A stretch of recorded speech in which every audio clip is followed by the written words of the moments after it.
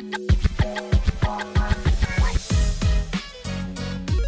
welcome back to this part of our YouTube Searcher app. So we're going to now build out the UI on the homepage a little bit more. We focused our attention in the previous video of this particular section here and making sure that we've got all our values coming back from our API. So if you haven't done that, please do go and follow along on the video just before this. But on this particular video, we're going to focus on the actual pills here. We're going to start padding this out with the uh, the uh, with details from the API response.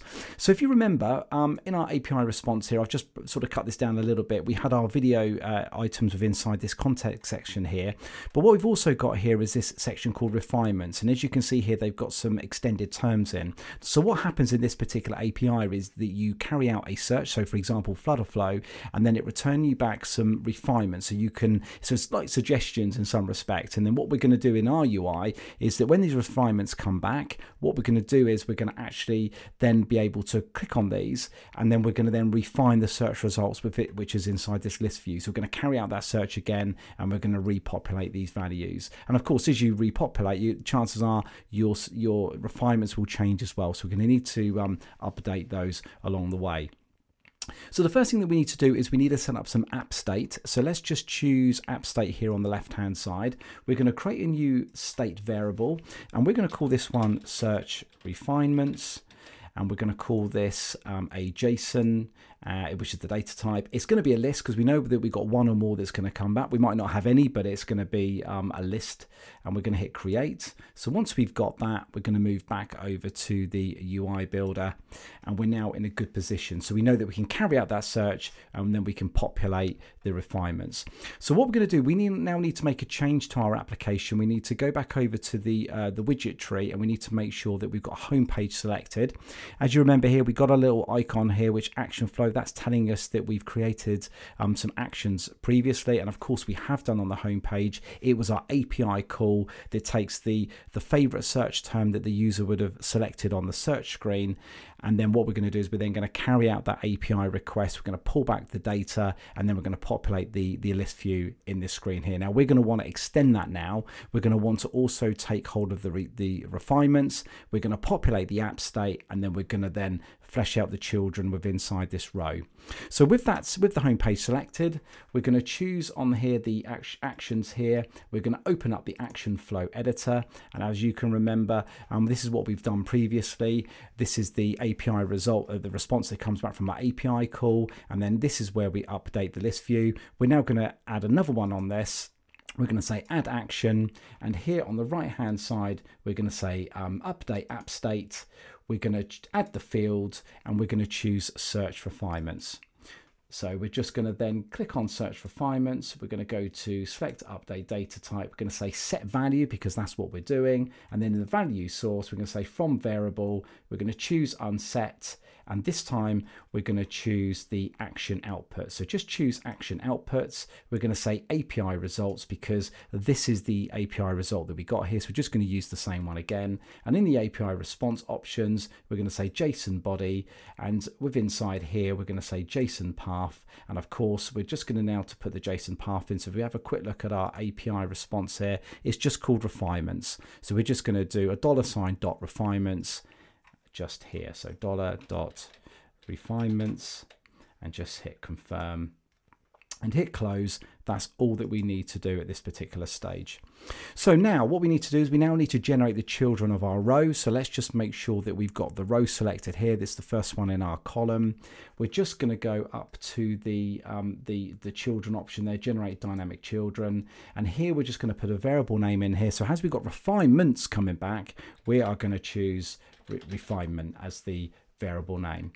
So with inside here, we need to give it some value. So just choose that and we're going to say app state and it's going to be the search refinements. This is what we've just created. So choose search refinements and hit confirm and then hit confirm there one more box is going to come up click ok and you'll start to see now we're starting to see multiple children with inside this row that's great let's just make a little change here we're also going to want to now put instead of saying test pill because that's the, the static text that we had we're now going to want to put the the name of the actual refinement in there. So just choose the text and then up where it says set from variable really really simply we just choose a refinement item. So refinement is what that we've just set for the variable name. Choose refinement item and that is all we need to do. We don't need to set anything else. We're not looking for a specific value using a key that we've done in previous um, parts of our application. We just need to just choose whatever string is in that list. So if you remember back here, we don't have any kind of key values here. Like if you look in contents, for example,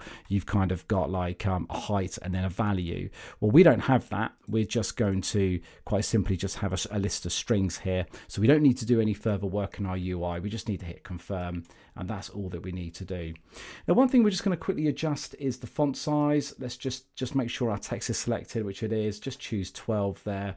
And I think just for good measure, I think what we need to do is we need to just sort this container out here. So let's let's just choose the the row there so we know where we're at and then uh, with inside that we just need to choose the container and then we're just going to pad the the right hand out say by 10 just to give it a little space there we go so you can just see now that we've got this little bit of padding in between each of these items so I think that's all that we need to do. We can test this now. So let's bring up the test mode here. So just hit the run your app in test mode, just hit that.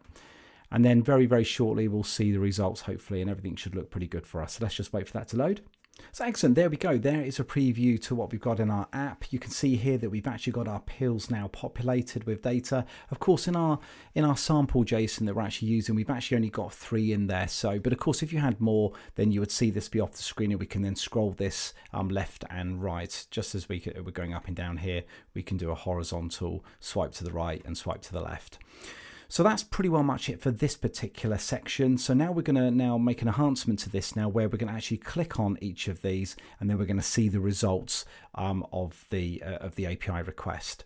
So now, of course, because we're using um, the JSON sample um, from a few lessons back, where we wanted to kind of save ourselves a little bit with making all these multiple API calls, we didn't want to kind of um, increase uh, go over our limit that we've got per month.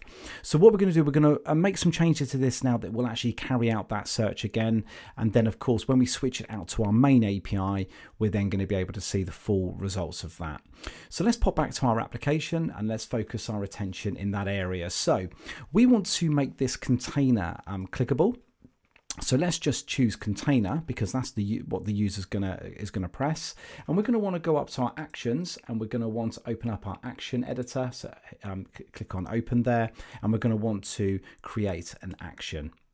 So what we need to do is we need to choose the API call option. So choose API call, and we're just going to go up to the group or call. We're going to, it's going to be the search again, and that's all that we need to do. Don't worry, this this this, this kind of gets like automatically generated for us, so we don't need to actually change this to anything else.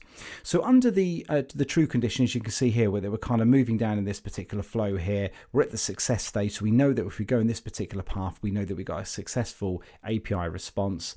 So let's just choose um, add there. We're going to say add action and then we're going to want to then update the app state. So the first piece of upstate that, uh, app state that we're going to update, of course, is our search results. We're, carrying out this action again in Flutterflow. We've kind of got no choice to do that. And with this particular version of Flutterflow, we can't kind of put logic that we can reuse again, and we, we have to make these calls every single time. So it's a little bit repetitive, but that's just what it is at the moment. And hopefully, the Flutterflow team in the future will uh, provide us the ability to call into more common kind of actions that we can use on, on more than one occasion. So, so for now, we're just going to say update app state. And then in the add field, we're now going to want to choose our search results, which is a list of JSON. We want to click on search results. We're going to go to update data, set value. We're going to click on the value from variable. We're going to choose unset. And we know that we're going to, we want the action outputs because this is the result, our API result. So choose action outputs. And we just want to choose the same one that we got here. So we've got 89 here. We just need to use 89 here. So whatever number that got generated for you, just choose the one that corresponds to this. So choose that one there. And then we're going to say API response is the JSON body. And in here, we're just going to say JSON path. Instead of saying custom here, we want to choose video because uh, that is the list of videos that we've actually got coming back. And hit confirm. That's that. We now need to then do one more update app state add action and we now need to choose the update app state option here. Um, this time we're going to choose our search refinements. So we're just going to do just that we did before click on search refinements click on set value go to value source say from variable choose unset and we're going to want to choose the um, the uh, the uh, action outputs here we're going to choose the 89 there and in here we're just going to choose JSON body uh, and then here we're just going to say JSON path. And of course, we know that it's called uh, refinements. There we go. And hit confirm. And that should be all that we need to do. So hit close there. Okay, so let's test this now. Let's click on the run option.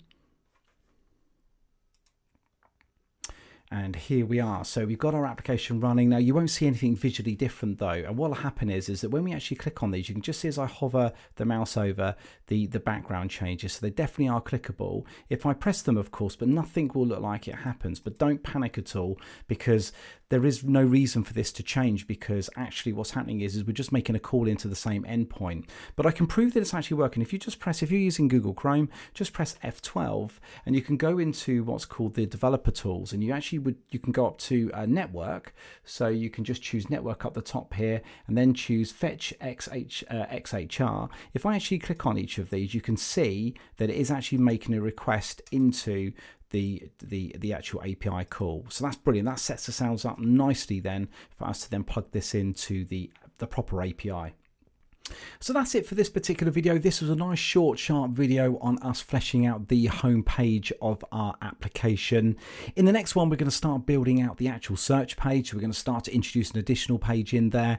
We're going to start looking at um, putting some Lottie animations in there as well to represent our kind of our loader to make it look a little bit more visually attractive to make it look like something is actually happening with inside our application. And of course it'll be really really good as well um, to hook this up to our real API. So I hope you found this useful. Please do like and as usual, please do subscribe to my videos if you are not currently subscribed to the channel. Um, and I look forward to producing more content as we go along. So until the next one, hope you enjoyed this one and we'll see you soon.